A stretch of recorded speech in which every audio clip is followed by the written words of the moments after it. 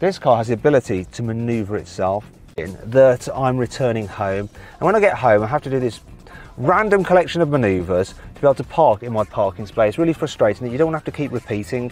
Now, when I record a preset path for the car, it should pop up and recognize it there. So I press that, and what it's going to do now is drive itself along this path because it's retracing the maneuvers that I did before. Look, I'm doing nothing. The car's doing all this. Coming back late, you're tired. You don't have to do this kind of crazy maneuver every single time that you come back to your house. You don't have to worry though. The car will do it all for you. Oh, you can just relax. Let it do its thing.